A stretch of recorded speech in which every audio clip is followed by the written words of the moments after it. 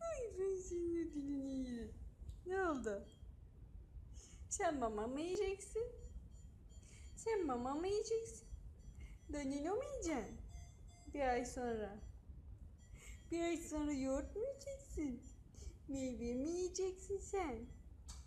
Her şey vereceğim.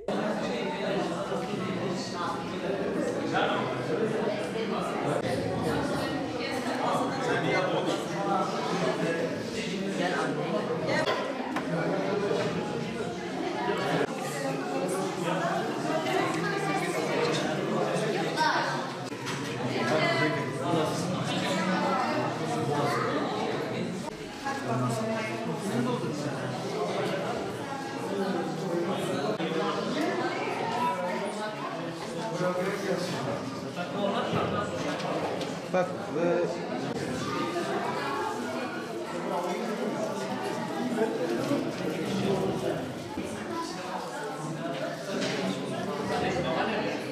Kan bağışı vermek bir umuttur. Herkesin kan bağışını vermesi gerekir.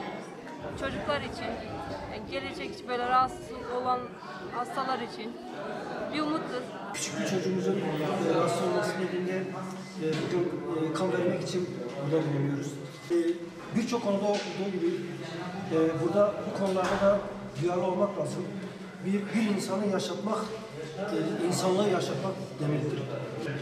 Her gün işte iyilik yetmezliği üzerinde insanların buradan e, bulamamasıyla e, yüzlerce binlerce insan ölüyor.